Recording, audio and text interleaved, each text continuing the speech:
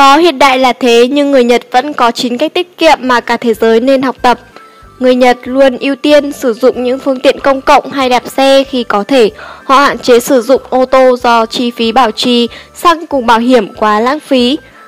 Mặc dù là một quốc gia hiện đại, giàu có và tiện nghi, thế nhưng người Nhật luôn tìm tới tiết kiệm như một phương pháp để sống có ích, hiệu quả và an toàn hơn trong tương lai. Mức thu nhập bình quân của một hộ gia đình Nhật Bản là 27.232 USD trên một năm. Đây không phải là con số quá lớn nhưng với cách thức chi tiêu tiết kiệm, người Nhật đã giữ được cho mình khoản tài sản lớn về sau này. Vậy, có lẽ nhiều người sẽ thắc mắc người Nhật Bản tiết kiệm ra sao? Dưới đây là chính cách tiết kiệm cực thông minh và hiệu quả được họ áp dụng. 1. Đạp xe mọi lúc mọi nơi Thường thì khi nghĩ tới Nhật Bản, người ta sẽ nghĩ tới khu vực Shibuya, với lượng người đi bộ qua lại lớn cũng như họ sử dụng tàu điện ngầm làm phương tiện di chuyển chính. Thế nhưng, đó không phải là tất cả. Ở những khu vực ít đông đúc hơn, người Nhật chọn lựa xe đạp làm phương tiện di chuyển chủ yếu. Vì sao ư? Nếu như sử dụng ô tô hoặc xe máy, mỗi tháng họ sẽ tốn tương đối nhiều chi phí cho xăng, bảo dưỡng, sửa chữa cũng như tiền bảo hiểm xe. So với xe đạp, những phương tiện trên đất đỏ hơn rất nhiều.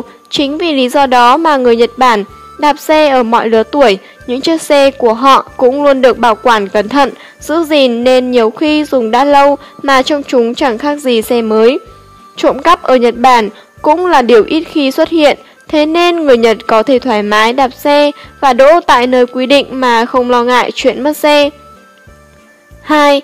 Tiết kiệm bằng những phương tiện giao thông công cộng nếu như khoảng cách quá lớn mà người Nhật không thể đạp xe hay vì lý do nào đó, họ sẽ sử dụng những phương tiện công cộng để giảm thiểu thời gian tới đích. Tất nhiên, sử dụng phương tiện giao thông công cộng sẽ tốn ít chi phí hơn nhiều so với phương tiện cá nhân. Ở một số khu vực, người Nhật thậm chí còn bán hết xe cộ cá nhân để sử dụng phương tiện công cộng như phương tiện di chuyển chính. 3. Tiết kiệm chi tiêu trong gia đình những người vợ tại Nhật thường có những quỹ riêng để tiết kiệm mà chồng không hề hay biết. Các căn hộ tại Nhật cũng không lớn, họ thích những căn hộ kiểu truyền thống, kích thước nhỏ và có vị trí tiện lợi cho công việc, sinh hoạt. Với những công việc trong gia đình, ngoại trừ khi họ không thể thực hiện được, còn không các cặp vợ chồng Nhật Bản đều cố tự thực hiện nó. Họ không có thói quen thuê người giúp việc hay dọn dẹp nhà cửa như Việt Nam, Tất nhiên, những dịch vụ đó vẫn có nhưng đại đa số người Nhật thường bỏ qua nó. 4. Tiết kiệm năng lượng theo thời tiết Mỗi khi trời chuyển rét, người Nhật sẽ không bật máy sưởi hoặc điều hòa để làm ấm cả căn nhà. Họ chỉ sử dụng nó tại những phòng đang có người ở. Một số căn hộ tiết kiệm tới mức chỉ làm ấm những khu vực nào có người sinh hoạt. Nhờ thói quen đó mà vào lúc trời rét, chi phí cho việc sưởi ấm của họ không quá cao. Khi trời nóng cũng vậy, họ chẳng Họ chẳng lãng phí làm mát quá nhiều khu vực trong nhà, mặc dù các thiết bị điện lạnh tại Nhật luôn có chế độ tiết kiệm điện, nhưng nhiều hộ gia đình thường tắt điều hòa mỗi khi phòng đủ mát.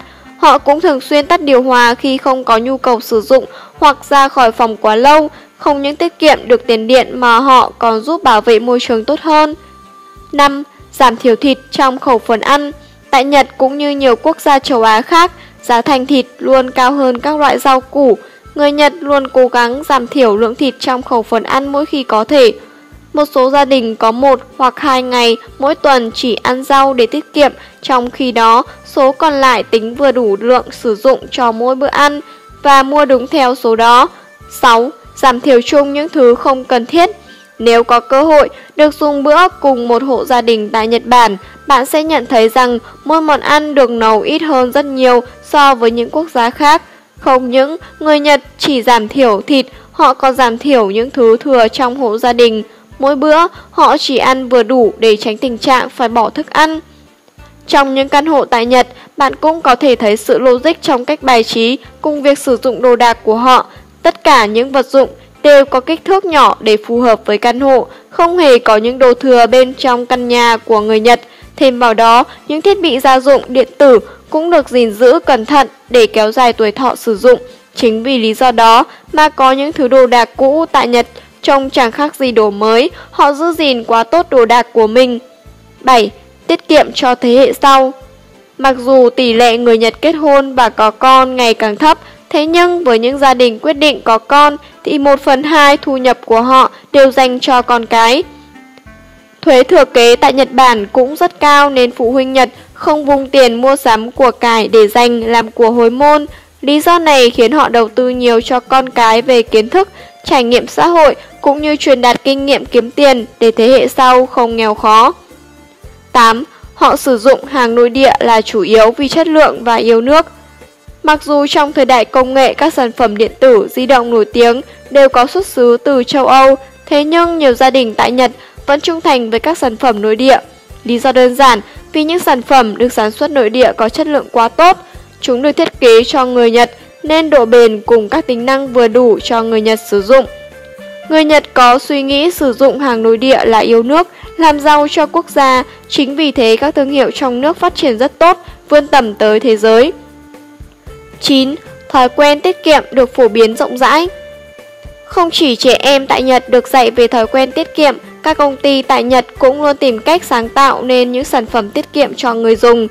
Những chiếc toilet rội vừa đủ, những sản phẩm điện lạnh tiết kiệm điện hay những phát minh quỳ quặc tại Nhật Bản đều hướng tới mục đích tiết kiệm. Một khi tất cả mọi người đều tiết kiệm, chẳng có lý do gì để sống một cách hoang phí ở xứ sở mặt trời. Mặc dù với sự phát triển chung, người trẻ Nhật giờ đây mua sắm nhiều hơn, đôi khi hoang phí hơn thế, nhưng thói quen cùng lối sống tiết kiệm vẫn xuất hiện rất rộng rãi ở Nhật Bản, một thói quen khiến họ luôn tự hào về văn hóa. Cảm ơn các bạn đã theo dõi video của chúng tôi. Chúc các bạn luôn vui vẻ, hạnh phúc. Hãy like, share và subscribe kênh của chúng tôi, góp phần thực sự đem lại giá trị cho bạn.